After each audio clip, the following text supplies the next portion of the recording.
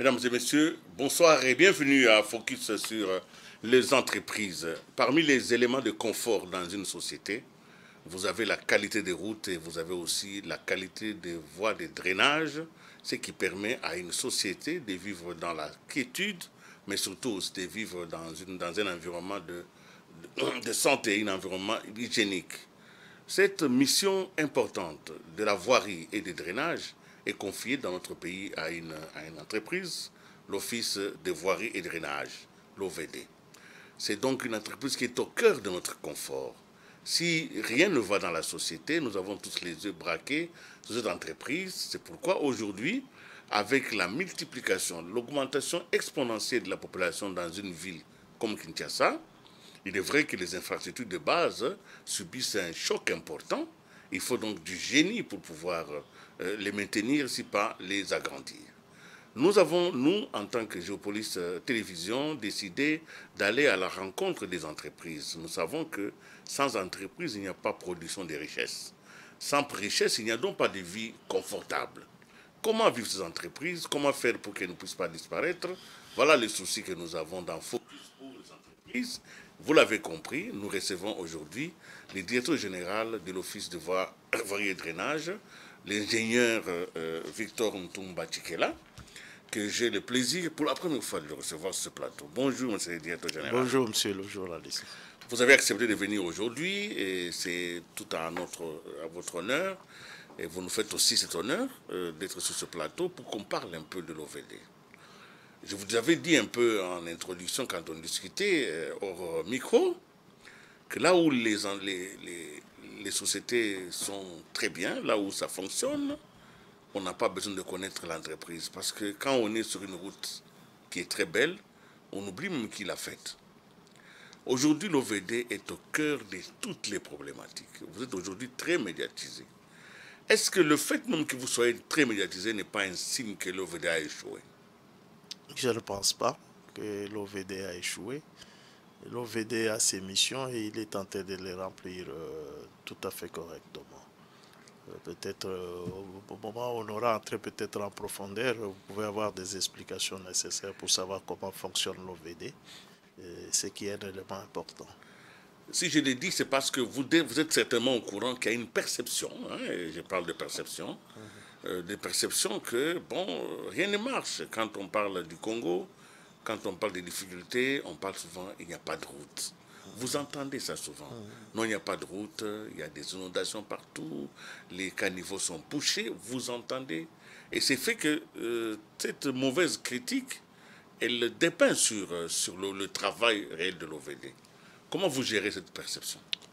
Oui, euh, vous savez, euh, c'est tout à fait normal. Euh, nous vivons avec la population et avec la démocratie, vous savez, il y a ce qu'on appelle les contrôles citoyens, qu'on ne peut pas refuser et que nous acceptons volontiers que ces contrôles citoyens puissent se faire.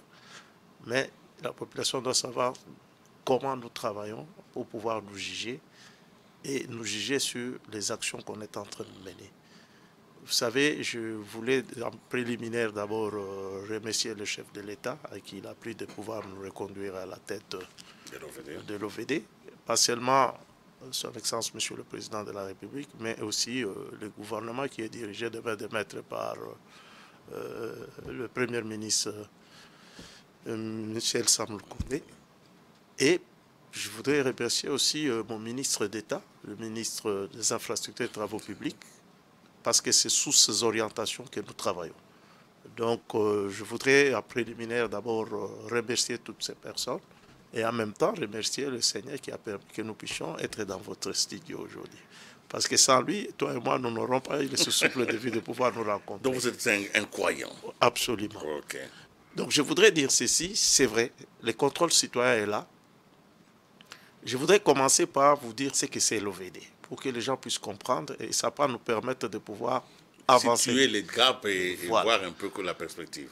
Je vous en prie. L'Office de voirie et drainage est un établissement public dans le secteur routier, un établissement public à caractère technique. Quelles sont les missions de l'OVD Les missions de l'OVD, c'est entretenir, construire les routes, les voiries urbaines à travers la ville. Deuxième chose, s'occuper de tout ce qui est, vous l'avez dit vous-même, tout ce qui est comme système de drainage à travers la ville. Troisième chose, faire les études, ou bien faire faire les études. Tout ce qui concourt pour les voiries, les assainissements. Il y a aussi la lutte anti-érosive qui est sous notre charge à travers toute la République, dans les villes, dans les ETD, dans les territoires. Tout ça est sous notre... Alors, deuxième élément important qu'il faudra souligner, c'est savoir quelles sont les sources de financement avec lesquelles que l'OVD travaille. L'OVD travaille, en premier lieu, nous dépendons, nous sommes tributaires du trésor public. Nous dépendons du budget d'investissement.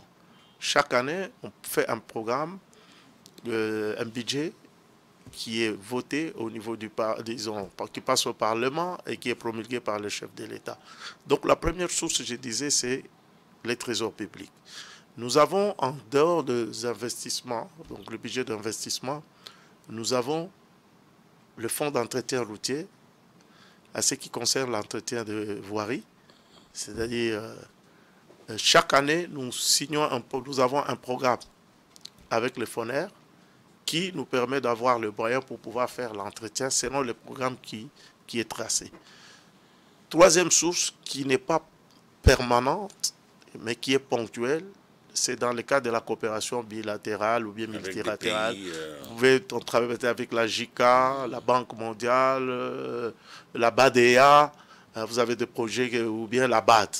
Mais ça, c'est des sources qui viennent pas ponctuellement, selon les cas. Alors, vous comprenez déjà, quand je cite que la source principale de... C'est les trésors publics. Et le FONER. Et les FONER. Aujourd'hui, euh, vous savez qu'il n'y a pas que les infrastructures auxquelles on doit faire face dans ces pays. Il y a plusieurs priorités et aujourd'hui, nous sommes pendant euh, nous avons l'aspect sécuritaire à l'Est qui est très important, euh, pour lequel le gouvernement est en train de faire un grand effort pour pouvoir résoudre ces problèmes. Vous comprenez que les besoins qui sont exprimés, non pas seulement pour le pays, mais à travers les infrastructures routières, les besoins qui sont exprimés sont énormes. Et ça demande une mobilisation des ressources aussi importantes.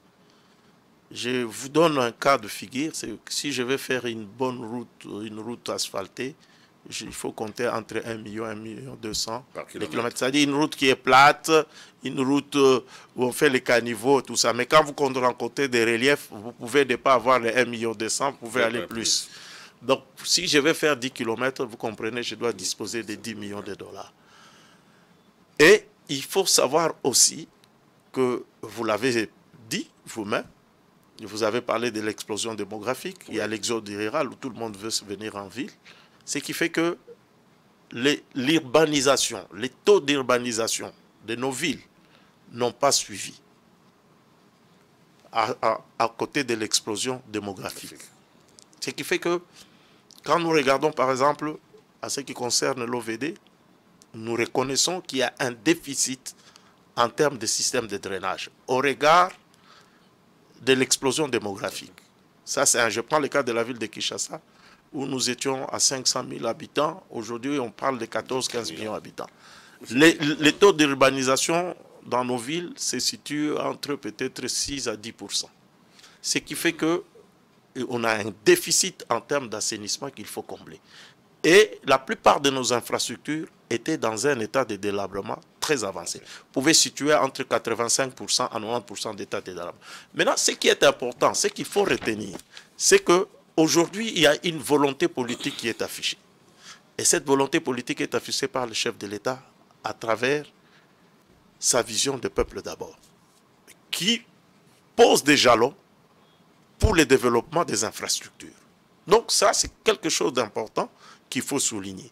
Et c'est dans ce cadre-là que nous, nous sommes en train de travailler pour pouvoir poser des jalons afin de réduire ces déficits et réduire l'état de délabrement. Je vous ai dit tout à l'heure que les besoins sont énormes. Nous ne pouvons pas avoir la prétention de dire aujourd'hui, avec tout ce que nous faisons, nous allons rencontrer tous les besoins qui sont exprimés par la population. Ce sera, de la ce sera démagogique. Je voudrais peut-être euh, réfléchir à haute voix avec vous. Oui.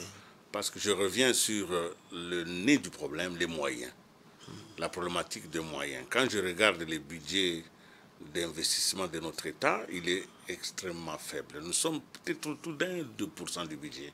En réalité, il n'y a pas de moyens. On n'investit pas. L'État n'a pas suffisamment de moyens pour euh, investir. Et je comprends euh, que l'OVD ne reçoive peut-être que des miettes. Mais je voudrais, je disais que je vais à haute voix réfléchir avec vous. Pourquoi l'OVD ne bénéficierait pas, comme les FPI, d'une taxe directement perçue sur euh, les, les, les, usagers? Parce que le FONER, c'est pour l'entretien. Mais le, le, FPI bénéficie d'une taxe. C'est qu'il donne des moyens suffisants pour l'industrialisation du pays.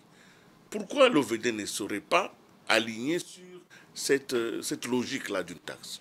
Vous savez, plus de taxes tuent aussi l'économie. Mais il n'y a pas de moyens. Il faut, il faut ce n'est pas une mauvaise chose que vous dites là, mais déjà, quand nous travaillons avec le FONER, c'est à travers une redevance qui est une taxe. une taxe qui, à travers le FONER, et il nous rétribue.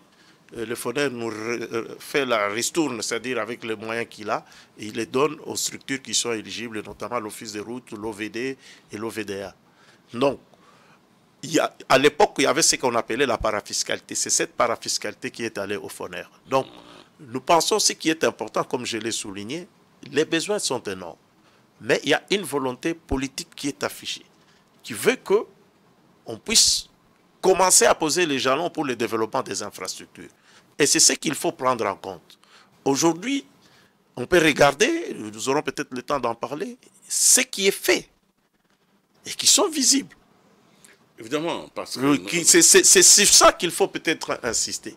C'est vrai, je l'ai dit, les besoins sont énormes. Nous ne pouvons pas avoir la prétention de, de, faire, euh, disons, de satisfaire tous les besoins en très peu de temps. C'est un travail de longue haleine qui peut prendre peut-être à court terme, à moyen terme et à long terme. C'est tout un programme qu'il faut mettre en place pour pouvoir faire face au développement des infrastructures. Pour savoir ce que vous avez fait, essayons de d'énumérer les problèmes que nous avons. Et en fonction des problèmes, vous allez situer les actions que vous avez menées. L'un des plus grands problèmes que nous avons ici dans la ville de Kinshasa sont les inondations. Mhm. Quand il pleut, il y a des maisons qui disparaissent, il y a des avenues qui sont complètement euh, inaccessibles. Mhm. Qu'est-ce que l'OVD a fait dans le cadre de la gestion des eaux? Parce que mhm. l'eau des pluies, l'eau de la rivière, c'est de l'eau. Dans ce domaine-là, qu'est-ce qui a été fait? Oui. Avant de vous dire ce que l'OVD a fait, je voudrais d'abord vous expliquer les causes des inondations.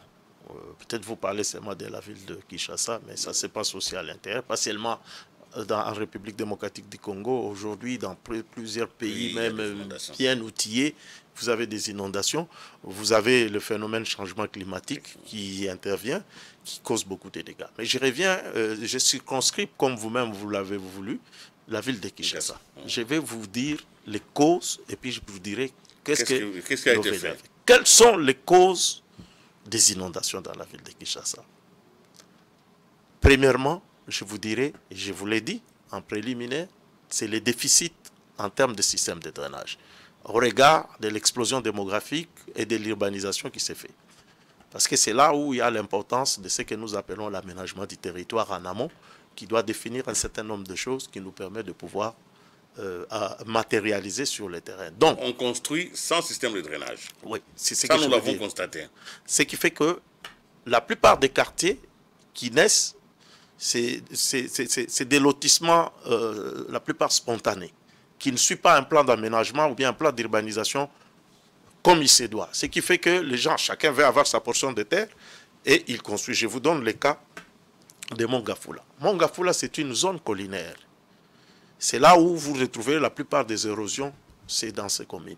C'est une zone collinaire. Qu'est-ce qui se passe? Les gens viennent faire la dévégétalisation.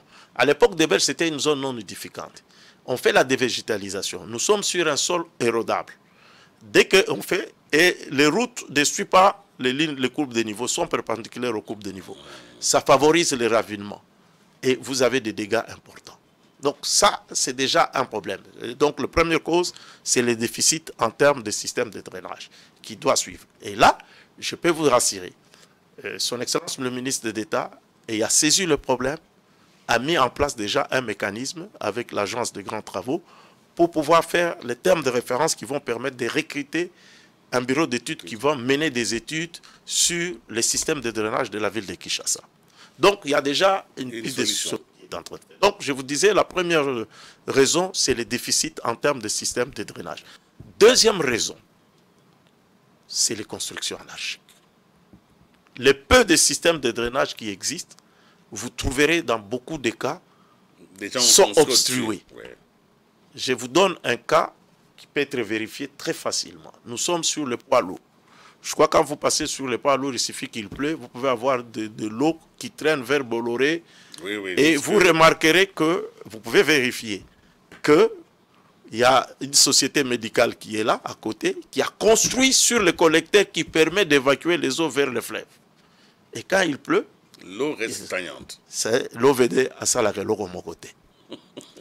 Donc ça c'est la deuxième euh, raison. Donc les, constructions anarchiques. Anarchiques. Vous avez vers Yolo, rond-point Ezo.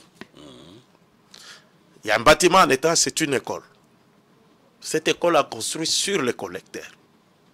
Quand il pleut Quand il pleut, c'est tout le bassin versant de Yolo qui passe par là. Et vous comprenez, quand on bouge ça, vous avez des problèmes.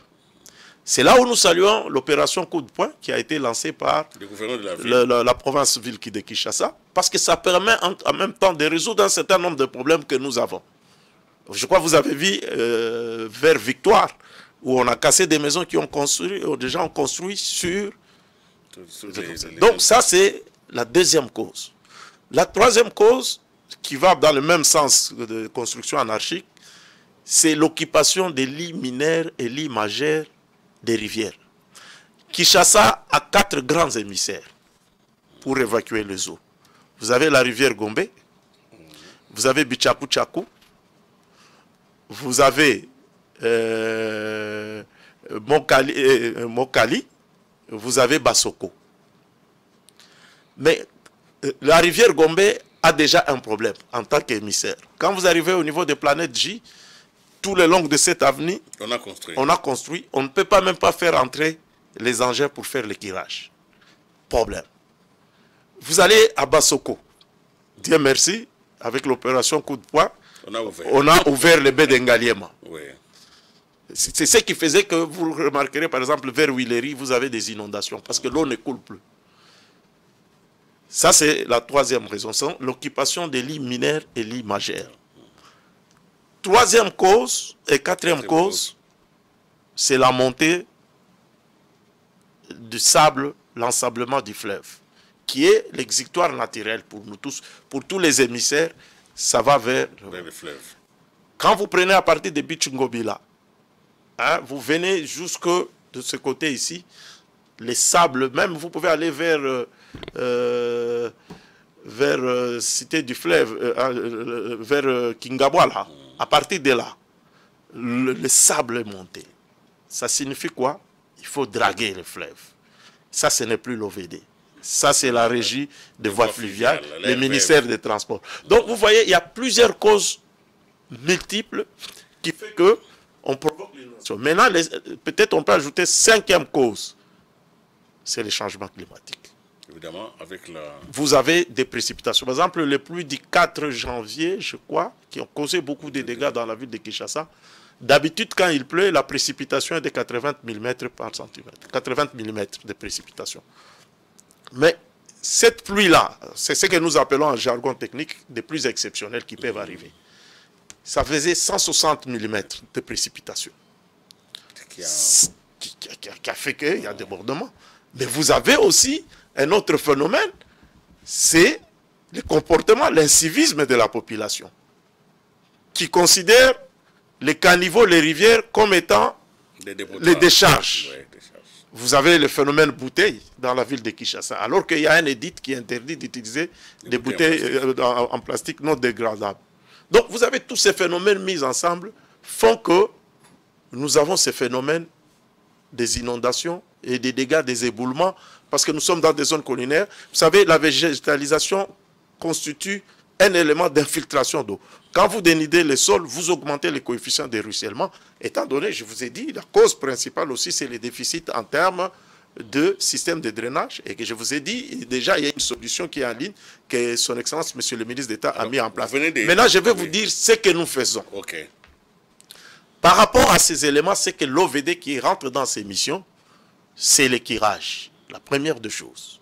Je crois, euh, nous sommes en train de terminer un programme que son Excellence, Monsieur d'État, a mis en place, l'équirage des rivières. Et nous avons pris la décision maintenant de pouvoir quérir les rivières et les caniveaux pratiquement euh, chaque semestre. Les, quatre rivières là dont on a parlé ici. Oui, oui. Chaque, euh, mais nous avons curé par exemple le Mont Kali, nous avons euh, la rivière Gombe. Nous sommes en train de terminer presque du côté de Bichakou Chakou parce que quand vous prenez Kishasa, tout Kishasa, Wakadingi, tout ça, ça tombe vers Bichakou Chakou. Et vous avez parfois des obstructions qui sont faites sur ces, ces, ces caniveaux qui font que l'eau ne coule pas convenablement et ça crée des inondations. Donc, je vous ai énuméré à peu près six causes qui sont à la base. Mais nous, nous avons mis en place un programme, l'écurage, l'écurage et la construction des caniveaux à travers les différents programmes qui sont mis en place. Mais nous disons que nous ne pouvons pas avoir la prétention de tout arranger maintenant. Mais c'est un problème qui doit se passer dans l'État. Mais nous sommes en train de faire des efforts. Nous avons tiré au niveau de, euh, de rond-point Victoire je crois même la population était très contente du travail qu'il a fait, qui a fait que certains plus quand ça est arrivé, on n'a pas vu les inondations. Vous me parlerez des triomphales. Je vous donne la situation des triomphales. Triomphales, euh, les inondations qu'on observe à cet endroit n'est pas tellement le fait de l'OVD, mais nous sommes concernés parce que sur le voirie. Vous avez vu qu'on est en train de faire des travaux du côté de Stade, on est en train de faire le pont Gabi. Euh, les collecteurs Gabi qui étaient en terre, mais qu'on est en train maintenant de, en, béton. en béton. Pour y travailler, on doit travailler à sec. Vous comprenez, on peut obstruer pour empêcher que l'eau puisse aller euh, abîmer le travail qui est en train de faire. Mais ces travaux sont en train d'être terminés. Je crois que ça permettra de résoudre, parce que nous avons prévu de faire une traversée maintenant au niveau de, de Willery à Sosa. Mais le grand problème, c'est un axe où il y a un trafic important. Si nous fermons ça maintenant, nous aurons un grand désagrément en termes des embouteillages qui va se faire. Et nous devons agir aussi au niveau de Pont-Gabi. Vous avez une grande bise euh, Arco qui est là, qui est complètement bouchée. Mais pour y travailler, malheureusement, on a construit le long de, du collecteur Gobari. On ne sait pas entrer pour pouvoir tirer, permettre à ce que l'eau puisse couler correctement. Alors, une, question supplémentaire.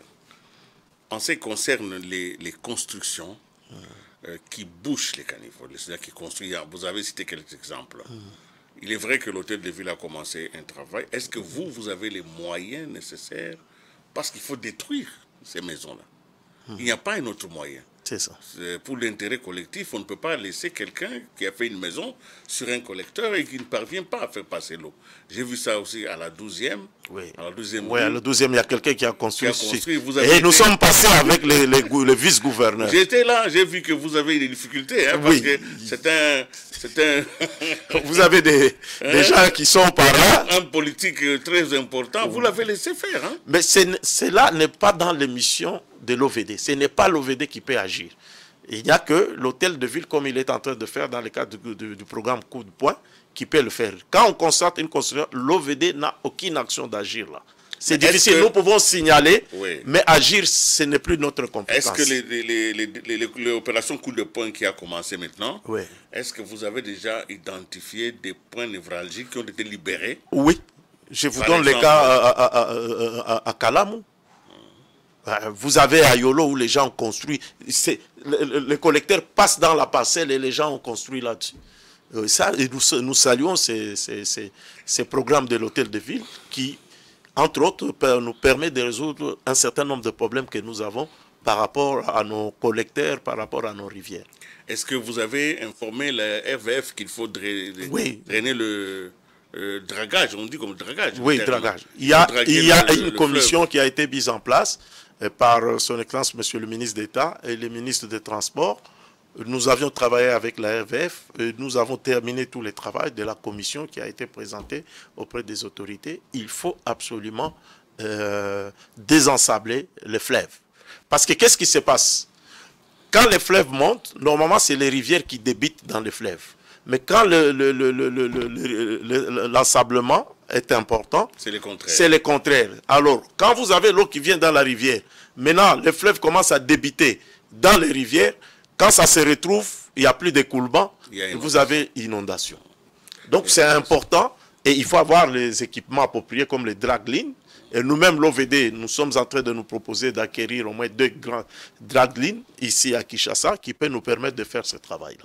Vous avez été cité un exemple il y a quelques semaines, quelques, pour l'homme de terrain, on vous appelle l'homme de terrain, sur le terrain, mais le terrain c'était sur l'opération Chile Gelou. Hmm. Nous n'avons compris comment ce qui avait été lancé avec pompe, euh, avec les chefs de l'État, c'était déjà, je crois, la 12e rue. Il y a eu non, non, c'était pas 12e rue, c'est 12e rue, c'est un autre programme. programme. Mais je crois que ça doit être euh, Terre jaune. Terre jaune. Voilà, les chefs d'État étaient là. Et puis voilà, aujourd'hui, vous avez résilié ce contrat avec euh, Greg 7, mhm. qui est comme une entreprise euh, établie dans ce pays, qui a fait beaucoup de choses. Mhm. Mais qu'est-ce qui s'est passé? Pourquoi ça, ce programme a échoué? Pourquoi? Le, programme n'a pas échoué. Ça, c'est la réponse que je vous donnerai. le programme n'a pas échoué. la preuve en est que, la, preuve en est que nous avions des contrats avec 7 pour la ville de Kinshasa et pour l'espace Kassai, c'est-à-dire les cinq provinces confondues. Mais pour la ville de Kinshasa, le contrat continue. continue. Je vais vous citer quelques avenues de Chile-Gelou qui sont déjà réalisées dans la ville de Kinshasa. Je reviens maintenant par rapport à la résiliation qui a été prononcée avec oui. dans l'espace Kassai. Dans l'espace Kassai, nous avions 100 euh, km à faire. Nous avions 25 km en Bujimaï, au Kassai oriental, 35 km au Kassai central dans la ville de Kananga, 15 euh, km dans la province de Lomami, à raison de 10 à, Kabinda et 5 à Mweneditu, 15 km dans les Kassai, dans la ville de Chikapa, et 10 km dans la province de Sankourou, euh, avec 10 km dans la ville de Lusambo. Nous avions, les travaux ont été lancés euh, pour Kinshasa le 17 mars 2021. Par contre, euh, en Bujimaï, c'était le, 27 et à Kananga, le 29. Nous avions un délai pour l'espace Kassai de 36 mois. Parce que même jusqu'à aujourd'hui, le délai continue à courir, il n'est pas encore terminé. Nous sommes à peu près à 21, 22 mois de travaux. Alors, nous n'avions pas résilié le contrat dans l'espace Kassai avec euh, euh par la mauvaise qualité des travaux. Non les qualités, les travaux qui ont été exécutés par Crexet dans cet espace, notamment dans la ville de Mbujimaï, dans la ville de Kananga et Mwenedit où ils ont commencé les travaux, c'était travaux de bonne qualité. Qu'est-ce que nous avons eu comme problème avec Crexet C'était la lenteur que nous avons observée dans l'exécution des travaux. Nous savons que nous sommes dans... Ça courait encore, il y avait encore 36 mois. Vous allez couper quelqu'un avant qu'il n'arrive à échéance Non, c'est-à-dire dans le mécanisme de gestion d'un projet, euh, nous avons de, des indicateurs qui nous permettent de voir à telle période, on doit être à tel niveau. À telle période, on doit être à tel niveau. Je vous ai dit que les travaux devaient se faire sur 36 mois.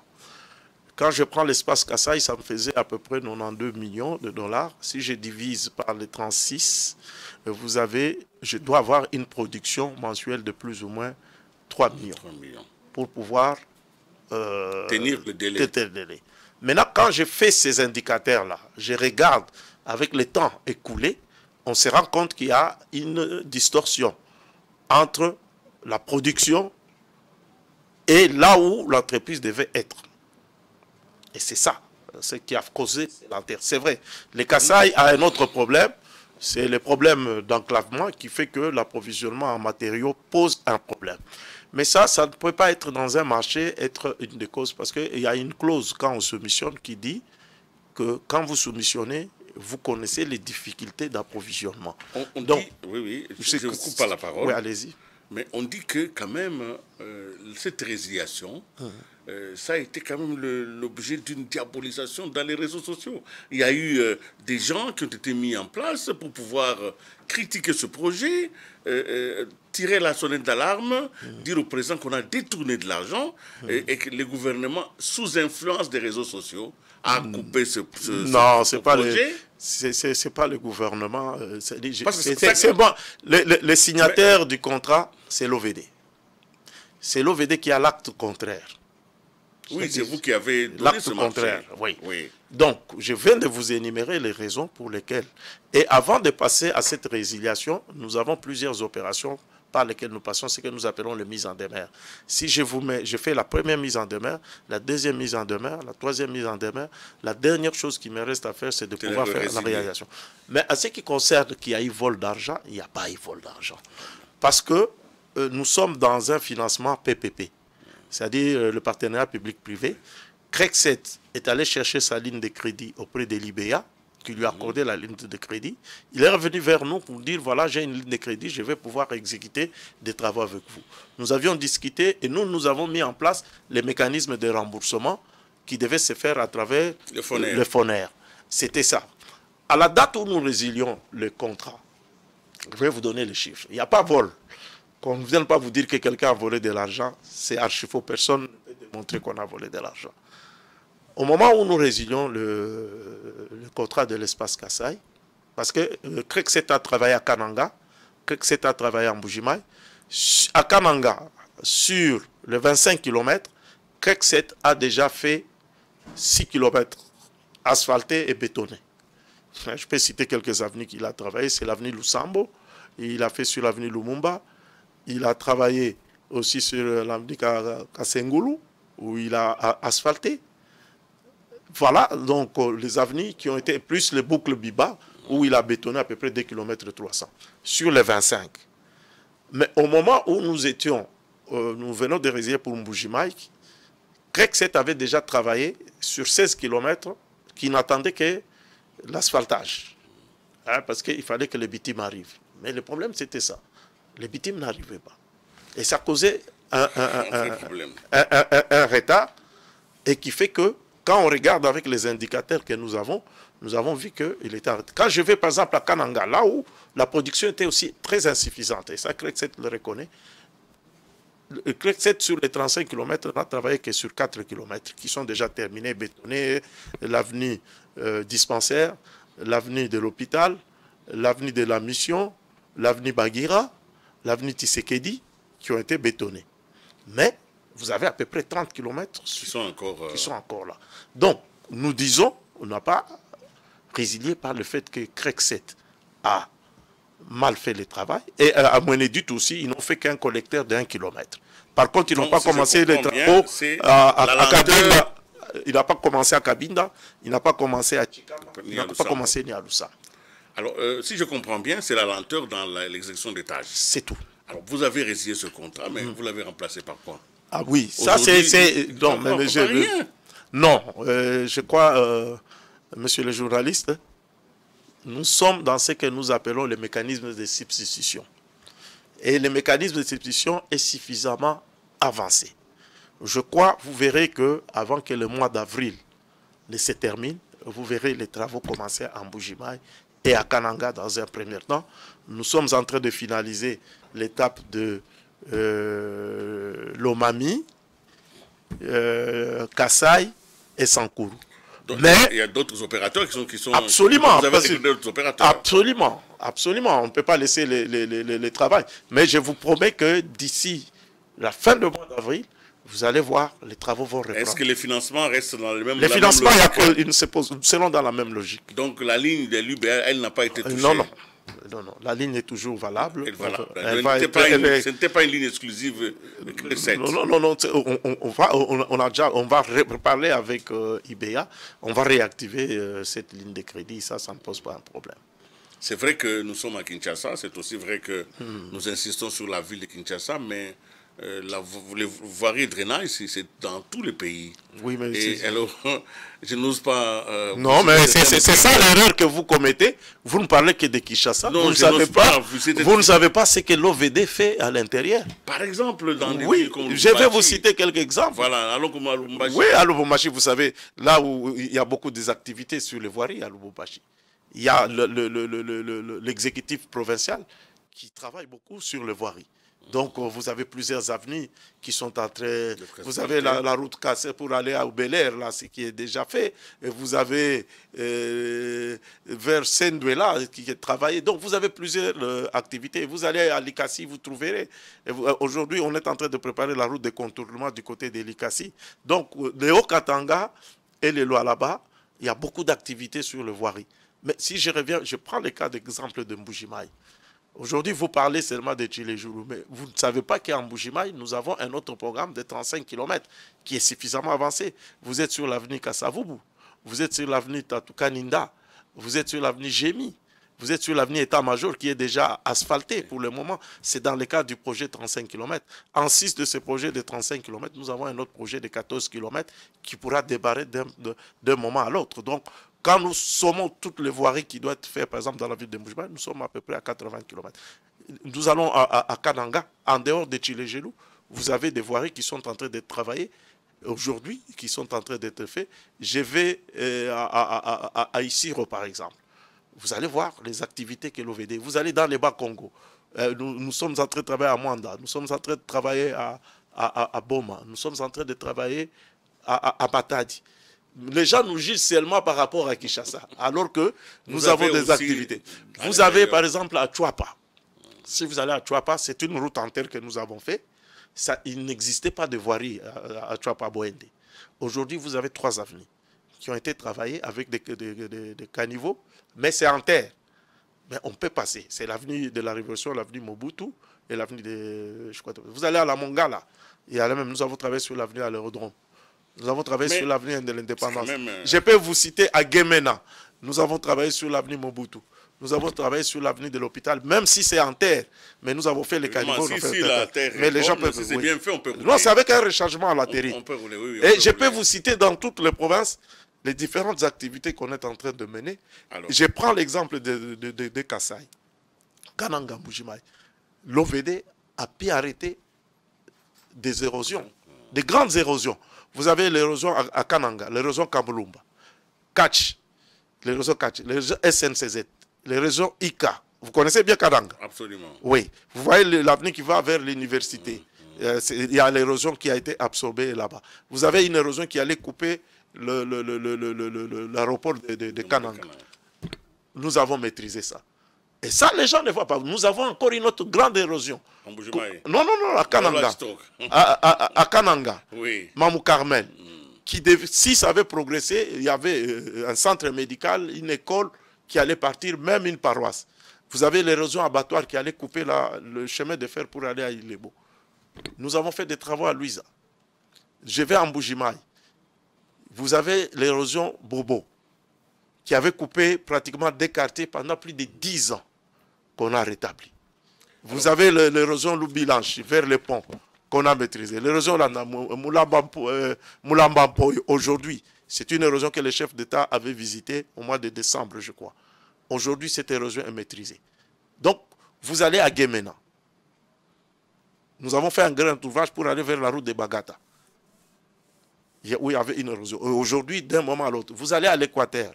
Quand vous quittez l'aéroport, l'avenue de la Révolution, l'avenue Munji. Oui, oui, on est en train de travailler même maintenant. L'avenue Munji qui a été euh, euh, asphaltée. Donc, il y a quand même des activités, mais quand vous vous parlez, vous parlez seulement de Kinshasa, mais vous oubliez l'arrière-pays.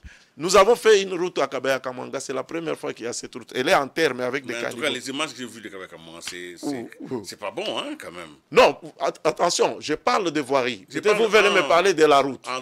Quand vous parlez de la route, ce n'est plus l'OVD. C'est l'office des routes. C'est une route qui est sous gestion de l'office des routes. Ok, parce que cette route-là était catastrophique. Oui, c'est-à-dire, euh, le problème, c'est que. même la route Kananga dont on parle beaucoup, évidemment, ce n'est pas votre. Ce n'est pas mon réseau. Je vous comprends. Mais je il y a des actions qui sont en train d'être menées. Une autre question, parce qu'évidemment, euh, on n'a pas beaucoup de temps pour ce genre d'émission, vous parlez bien, ça va vite. Hein. Mm-hmm. Euh, la capacité technique de l'OVD, parce que dans, la, dans le pays ici, parfois quand on va à l'intérieur, on voit des engins mm. OVD en panne, déposés dans la forêt. non, non, pas l'OVD, c'est peut-être pour l'office de Est-ce qu'aujourd'hui... c'est vrai, nous avons aussi des matériels en panne. Des matériels en panne. Oui, oui. sont, quelle est votre euh, plateforme technique? Vous travaillez sur quelle plateforme technique et qui sont ceux qui, Avec quel matériel vous fonctionnez? Merci pour la question. Euh, on ne va pas se voiler les yeux. Il est vrai que à la date d'aujourd'hui, nous avons un déficit en termes de matériel qui réduit non, un peu la capacité d'intervention. Cela n'est plus le cas pour la ville de Kinshasa, où en 2021, nous avons eu par un don japonais du matériel. On est suffisamment équipé pour la ville de Kinshasa en termes de matériel. Mais nous avons des problèmes dans les 25 provinces. Parce qu'à l'époque, nous avions eu du matériel en 2009. Et vous savez, les, engins de génie civil, 4 ans, 5 ans après, le matériel tombe est amorti. Mais euh, par la technicité de, des, espèces de Congolais, ces véhicules roulent. Mais aujourd'hui, ces véhicules sont dans un mauvais état qui fait que la charge d'exploitation devient plus importante. On dépense beaucoup en termes de, d'échange, tout ça, carburant, la consommation augmente, les huiles et tout ça. Mais le gouvernement a pensé déjà à ce problème. Le gouvernement a pensé à ces problèmes parce qu'il sait qu'on a un déficit en termes de matériel. Je ne parle pas seulement pour l'OVD, je parle aussi en, termes aussi de l'Office de route. Parce que nous avons eu ces matériels presque au même moment. Aujourd'hui, il y a tout un programme qui a été mis en, place euh, par l'initiative du chef de l'État pour permettre à ce que l'OVD et l'Office de route puissent acquérir du matériel. Il y a un programme, euh, je crois ceux qui ont suivi le média dernièrement, il y a une ou deux semaines, notre ministre a signé un protocole d'accord avec une entreprise euh, sud-africaine, Gouma, qui va livrer le matériel, qui a même déjà commencé à livrer le matériel, parce que pour le moment, il y a, si vous allez à Kingaba, vous allez trouver 115 matériels qui sont déjà positionnés. En tout, on doit avoir 5000 matériels qui va permettre d'équiper toutes les provinces pour l'office de route et pour l'OVD du matériel. Ça va permettre d'augmenter la capacité d'intervention. Nous en sommes conscients et les autorités qui nous dirigent sont conscients ont mis en, place un programme et aujourd'hui ces matériels sont en train de venir pour pouvoir équiper les structures euh, qui travaillent dans le... Nous, vous avons vu euh, dans la délégation du chef de l'État avec le ministre euh, des ITPR en train de visiter des chantiers pour la francophonie, les Jeux de la francophonie. Non, l'OVD n'était pas concerné. N'était pas concerné Non, l'OVD n'était pas. C'est le ministre seul. C'est le ministre et il y a d'autres structures, l'agence des grands travaux et tout vous, ça. Vous n'êtes pas concerné On n'est pas concerné. Parce que j'ai appris quand même que Euh, on, voudrait, réquisitionner l'avenue, la nouvelle avenue Elenguessa. Euh, ça, ça vous dépend de vous. Elenguessa. Oui, Elenguessa a été euh, réhabilité ah, par l'hôtel de ville, mais c'est le, réseau de l'OVD. On voudrait réquisitionner ça pour... oui, c'est une bonne chose parce qu'elle est presque terminée, cette, ces travaux-là. Pour pouvoir travailler là-dessus. Alors, quel est le, projet pour lequel vous ne dormez pas? Quand vous regardez la ville de Kinshasa, les dossiers qui vous, pour lesquels vous êtes vraiment inquiet je vais vous parler des zéro trous. Parce que c'est ça, sur ça que les gens parlent, le zéro trou. C'est un slogan, hein, simplement. Euh, euh, non, c'est un objectif à atteindre. C'est-à-dire, quand on a mis en place ces programmes, c'est un objectif à atteindre. Et là, peut-être, il y a une mauvaise interprétation des gens qui ne comprennent pas très bien ce que signifie le zéro trou. Nous n'avions pas la prétention à ce moment-là de dire que tous les trous de Kinshasa, nous allons les terminer. Non. Parce que mais pourquoi donner zéro euh, Le mot zéro, c'est zéro. Non, c'est un objectif à atteindre qui ne va pas se terminer. Nous allons continuer. Je vous explique. Laissez-moi vous expliquer un peu. C'est très important pour que nos téléspectateurs puissent comprendre. Les zéro tout que nous avons mis en place, c'est un objectif. Et ce que nous avons fait, c'est je gère, l'OVD gère dans la ville de Kinshasa 3600 km, sur lesquels j'ai 697 km des voiries revêties. Parce que les zéro tours concernent que les voiries revêties. Et j'ai 2600 qui sont les routes en terre. Donc, on inscrit d'abord les 2700 là, qui ne concernent pas le programme des zéro trous. Alors, M. Willy... Même si, sur les routes en terre, il y a des trous aussi. Oui, oui, M. monsieur, monsieur Willy, lui, il sort de chez lui, il est sur une route en terre où il y a des trous, il va dire l'OVD ne fait rien. Maintenant, je rentre dans les 697 qui concernent les routes revêtues, parce que les zéro trous ne concernent que les routes qui sont revêtues. Le programme de zéro trou que nous avons tracé, parce qu'il y a plusieurs phases. La première euh, phase que nous avons commencé, qui avait deux lots, le lot 1, nous avons 49 acteurs pour 85 km. Alors vous comprenez, quand vous prenez 85 km, vous divisez par 697, ça vous fait combien? 12%. Donc, le programme, la première phase n'a concerné que 85 km, ça signifie 12%. Alors, M. Willy, toujours, lui, sort de chez lui, il entre dans les 88%, il va dire que l'OVD n'a fait rien. Jugez-nous d'abord par rapport aux 12%. Alors, les 12%, ça fait 49 acteurs. Je vais vous citer comme ça au hasard, vous pouvez vérifier là où nous avions travaillé. Je prends dans la commune de Tchang, euh, parce que nous avions quadrillé dans notre programme, alors je vais préciser un élément important, ces projets-là, prenait 31 millions de dollars en deux phases, c'est-à-dire la première phase, ça faisait 15 millions, et la deuxième phase, ça faisait 16 millions, pour lesquels le gouvernement a déjà payé complètement les travaux du premier lot qui faisait 25 acteurs, 14, 15 euh, millions. Maintenant, on est dans la deuxième phase qui est 16 millions, sur lesquels le gouvernement nous a déjà payé 12 millions. Il reste 4 millions. Alors, je vous, je vous cite quelques avenirs de ces programmes. là, vous pouvez dire si on a travaillé ou bien on n'a pas travaillé je prends, nous cadrions ça selon les districts. Nous avions quatre districts. Tchango, euh, c'est comme ça que nous travaillons. Moamba, Lukunga et Funa. Je vais à Tchango. Vous avez la première entrée d'Enjili. Cette première entrée-là, on ne passait pas. C'était fermé cette route. Aujourd'hui. Avant d'arriver vers Kimbuta là. Oui, avant d'arriver à Kimbuta, la première entrée d'Enjili, elle était, on ne passait pas. Les gens entraient par Kimbuta. Aujourd'hui, vous pouvez quitter là-bas, vous faites 3 km. C'est l'OVD qui a travaillé dans le cadre des zéro tours. Là où a commencé maintenant Moderne, parce que Moderne a commencé pour aller de l'autre côté. Là où nous, nous avons terminé, Moderne a commencé. Pour faire la route de Pour la faire de, brasserie. Mais les 3 km là, c'est zéro tour. Vous allez à Kinkole. Je crois que vous avez le temps d'aller manger un peu les mabok là-bas. Vous avez travaillé où là-bas? Donc ça fait longtemps que vous êtes allé manger les mabok Non, la route. Euh, la, la, la, les boulevards Kinkole. Oui, oui, je sais qu'il y a. Oui. Les trous ont été bouchés. Ouais, Je sais que ça, je peux, je peux, le témoigner. Voilà. Heureusement, vous le témoignez. Je peux le témoigner. Même jusque, même jusque Ngandaya là. Ouais, bon. Maintenant, je, je, je, je prends l'avenue université. Cette avenue-là Oui, je prends l'avenue Université. L'avenue Université, je le prends à partir de Saint-Doué jusqu'à Intendance. Nous avons balayé cette route. Aujourd'hui, nous sommes sur Capella et Université parce que nous sommes en train de bétonner. Et vous verrez les Zengele. Aujourd'hui, il n'y a plus de Zengele. C'est bétonné complètement. Ça, c'est zéro trou. Je prends l'avenue Bangala. Vous savez qu'il y avait des grands trous sur ça. Nous avons travaillé là-bas. Nous venons de travailler là-bas parce qu'il restait encore des trous de l'autre côté que nous venons absolument d'absorber. Donc je crois peut-être demain ou demain, on va poser les enrobés. Donc Bangala sera opérationnel. Vous avez l'avenue Tango. Tango, c'est où? Une minoterie euh, vers GB ici. Oui, oui. L'avenue Tango. Si vous prenez l'avenue Tango, ça, c'est zéro tout. Vous avez à ma campagne les travaux sont en train de se faire. L'avenir Ring 1, Ring 2, Ring 3. Ça, c'est zéro tout. Vous avez l'avenir Ma Campagne qui vient de se terminer. Hein? L'avenir Ma Campagne. Ça vient de se terminer. Je crois qu'ils ont terminé le, euh, week-end. Ici en ville, euh, l'avenue du livre, là. On, a commencé les travaux. C'est dans zéro trou. Ah bon? Parce que Ah ben vous n'êtes pas passé là, ça fait longtemps.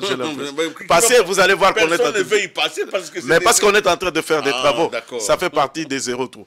Vous avez l'avenue Kabasele à partir de Phoenix, en remontant. Hein, il nous reste quelques petits points ah, pour pouvoir terminer. Vous avez vu en dessous des ponts qu'on a cassés, on a bétonné à cet endroit. Vous pouvez Il nous reste quelques trous un peu par ici, plus vers Ina. Si vous passez vers Ina, vous allez voir qu'on travaille parce qu'il y avait un problème de bis qui était cassé. Et on est, vous avez vu que les matériaux sont là. Dès qu'on va terminer ces points-là, on va balayer les quelques points qui restent. Nous sommes dans zéro trou. Vous avez l'avenue du sport qui a été asphalté. Euh, vous avez l'avenue Victoire, à partir de l'université jusqu'au rond-point Victoire. On passait difficilement. C'est terminé. Donc le travail s'est fait. Le travail s'est fait. Vous avez l'avenue Basoko à, à, Kitambo, là où il y a l'éléphant, Chani Metal. Vous avez une avenue là, c'est l'avenue Basoko. Terminé. Alors, alors, quelles sont les, les avenues qui reste. Qui reste. non, qui est... maintenant, maintenant c'est ça. Pour que les gens se sentent un peu. Oui, c'est-à-dire vous euh, avez des axes. Vous avez des axes importants. Par exemple, le programme continue. Euh, aujourd'hui. Parce que vous avez encore 4 millions Oui, oui, 4 millions. Le programme continue. Vous avez, on a parlé beaucoup, Zela Amaï, Zela Amaï. Aujourd'hui, passer sur Zelamaï, le travail est en train d'être fait. Tous les trous qui étaient là-bas euh, est en train d'être absorbés. Vous avez l'avenir au Capi. Vous prenez au Capi, ben c'est que pour arriver euh, jusqu'à passer sur l'école Sévigné là, où il y avait un trou euh, montré tout ça. Ça, ça va être fait. Nous, sommes, nous avons terminé au Capi. Nous sommes en train de descendre sur Benseke. Et puis nous allons arriver vers Monalix, qui va être fait. Vous avez Deuxième République pour aller vers Tchang. Bon, je crois peut-être la semaine qui vient, les travaux On parle d'une route là qui devait être un peu oui, vous secondaire. Avez, vous avez le, Tchango. Tchango, vous avez la, la- la plus grande La route. route, la route de Kulumba. Kulumba, on est en train de travailler. Ah, d'accord. Kulumba, on est en train de travailler pour sortir sur, euh, euh, sortir sur poids lourd. Ça va permettre de, dé- désengorger l'avenue Lumumba. On est en train de travailler, on a déjà commencé. Donc, vous avez euh, la Deuxième République qui va commencer d'un moment à l'autre. Donc, et puis, nous avons tout un tas de programmes, parce que vous, vous n'avez parlé que de Chilegelo et des zéro trous que j'ai expliqué. Non, nous Mais nous avons le programme euh, moderne, tout ce qui est limité. Septième riz, là où le chef d'État avait lancé les travaux, c'est déjà terminé. Neuvième, euh, quinzième riz, c'est terminé. Treizième riz, c'est terminé. Neuvième riz est en train d'être terminé. Mais première rue d'Ilandos, c'est. c'est la Dilandos dans Chilegelou, ça va commencer. ouais. Ça va commencer d'un moment à l'autre. Nous venons d'approuver les études de l'entreprise Crec, parce que je t'ai dit que Crec continue à travailler à Kinshasa. Kinshasa. Vous avez Terre Jaune, vous avez Afuna, euh, vous avez Manifeste, vous avez l'avenir Sosa, l'avenir Makanza, vous avez l'avenir euh, Ngandakilo, à Ngaliema, vous avez l'avenir du fleuve. Quelle connaissance vous avez de cette ville, mon Dieu C'est léger. On ne va pas terminer. Oui. En tout cas, s'il y avait des choses à prouver, vous les avez données. Oui. Euh, je voudrais simplement, parce qu'on va, on va terminer, mais je, je voudrais vous, vous réinviter. Il y a pas de Euh, problème, Parce que pour nous, euh, c'est important d'accompagner les travaux que vous faites sur le terrain par une compréhension. Mhm. Mais je voudrais qu'on termine cette émission euh, par des perspectives. Ouais. Euh, quelles sont les perspectives d'avenir? Parce que euh, c'est vrai qu'il faut avoir la foi dans ce qui s'est fait, parce que la population doit être aussi responsable de ce qui est, lui est donné. Alors je voudrais que nous terminions par les perspectives. Les perspectives, c'est que je vous ai dit tout à l'heure, les besoins sont énormes. Je vous ai donné les sources de financement pour comprendre d'où nous tirons les ressources. Nous, sommes, nous en sommes conscients. Mais ce que j'ai insisté beaucoup, c'est la volonté politique qui est exprimée par le chef de l'État pour pouvoir développer les infrastructures. Non pas seulement dans la ville de Kinshasa à l'intérieur. Aujourd'hui, nous n'avons pas parlé avec vous des érosions. Non. Mais vous avez des cas des érosions qui sont spectaculaires. C'est comme l'érosion des Zamba Telecom, qui, où les quartiers étaient complètement. Vous avez l'érosion Kindele, où la route a été établie pour aller à Kimwenza. Mais ça a été cassé. Non, c'est rétabli. Rétabli. Rétabli. D'accord. Je connais quelqu'un qui a déménagé. Il est non, mais la route est euh, rétablie. Vous pouvez visiter ça. On vous invitera un jour pour qu'on fasse un peu le tour avec vous Oui, euh, dans la ville pour voir ce que nous avons réalisé. Mais maintenant, ce qu'il faut faire comme projection, c'est que, comme j'ai parlé des zéro tours, j'ai dit ce n'est qu'un objectif à atteindre. Donc nous allons continuer ce travail, à toujours travailler pour pouvoir rencontrer cette préoccupation. En dehors de ça, vous allez voir dans les jours à venir, nous allons continuer encore des travaux dans la commune de la Gombe. L'avenue de la Gombe va être travaillée. Déjà aujourd'hui, la nuit, on va travailler sur l'avenue de la Gombe, les trous qui sont sur l'avenue de la Gombe. Aujourd'hui, la nuit. Parce qu'on préfère parfois faire les travaux de la nuit pour éviter les mieux. embouteillages. oui, oui. Ah, donc, on va utiliser le, ce qu'on a utilisé sur euh, Zela Maï, les pluvimixeurs. Euh, c'est un engin qui permet de recycler ce qu'il y a là-bas et on peut aller vite. Vous avez l'avenue euh, comité urbain va être travaillé. Vous avez euh, l'avenue du au, au commandement. Vous êtes au niveau de Persao là. Vous avez des trous, ça va être travaillé. Hein. Vous avez euh, l'avenue de la Gombe, comme j'ai cité. Vous avez à Kingabwa. À Kingabwa, il y a un autre Kulumba qui va être travaillé. L'avenue Lumumba va être travaillé. L'avenue Ini-Congo va être travaillé. À Kassavubu, nous allons travailler. Dans les jours à venir, vous allez voir, les travaux vont commencer, comme Oshwe, Pozo, euh, avenue du Stade. Vous allez voir qu'on va commencer. Donc, nous avons, la, la prétention, nous voulons aller de l'avant. Notre travail ne s'arrête pas seulement à zéro trou. Le travail continue. Et comme vous l'avez dit, nous venons de le souligner, du moment que le déficit en termes de matériel va être absorbé d'un moment à l'autre, vous allez, ça va nous permettre de pouvoir augmenter notre capacité d'intervention. Vous avez vu, compte tenu, vous avez parlé de la modicité de, moyens. C'est comme ça, nous sommes allés vers ce que nous appelons le financement innovant. Le financement innovant, ça peut être le PPP, ça peut être le BioT. Il faut réfléchir, aller vers d'autres financements qui permettra de soulager. Mais au finish, c'est toujours l'État qui paye. Parce que si vous avez un financement innovant, il faut assurer les remboursements. Les remboursements, c'est l'État qui doit. Mais là, l'État est un peu, n'est pas asphyxié, est étalé dans les temps. Par exemple, je prends le cas de Chile-Gelou, où on devait faire les travaux entre 36 mois, mais le remboursement se faisait sur ces de mois. Donc, vous sentez que c'est allégé. Donc, il faut aller vers les ressources, parce que le, le, le, le développement des infrastructures demande des, ressources importantes. Et sans développement, il n'y a pas de développement. C'est la route qui booste l'économie, l'interconnexion. Mais nous demandons aussi pour le mot de la fin, c'est de demander à la population de faire confiance à l'OVD, qui a une expertise éprouvée. Et de demander aussi à la population d'accompagner les travaux qui sont en train d'être faits en utilisant les ouvrages qui sont réalisés en bon père de famille. Éviter l'incivisme. Et ça aussi, c'est un élément important parce que nous acceptons le contrôle citoyen, mais nous voulons que cette population aussi nous accompagne. Merci beaucoup, monsieur le DG, directeur général de l'OVD, d'avoir été à ce plateau de Géopolis Télévision dans le cadre de l'émission euh, Focus les entreprises. Nous l'avons laissé parler, vous avez certainement suivi, nous avons posé toutes les questions, il n'y en a aucune qui a été évitée et il nous a donné les réponses. Voilà les hommes d'État que nous voulons, ceux qui savent assumer leurs actions et qui savent faire avancer les choses, qui ont un bilan à présenter. Nous ne pouvons que vous encourager dans votre travail. Merci. Et nous allons continuer à observer, sinon à accompagner le travail de l'Office de route, de l'Office de voie et drainage sur le terrain. Merci. Alors, on m'a dit que vous étiez un homme de terrain. Mhm. Je viens d'en avoir la conviction, mais c'est l'homme de terrain. Merci beaucoup. Merci aussi, amis téléspectateurs. Vous avez suivi cette émission. Elle vous sera rediffusée. Elle sera certainement euh, plusieurs fois sur d'autres plateformes. Et j'espère que si vous allez un jour quitter votre maison pour aller sur la route, quand vous roulez, pensez quand même qu'il y a des gens qui ont travaillé à votre confort. Au revoir et à la prochaine. On a dépassé l'heure.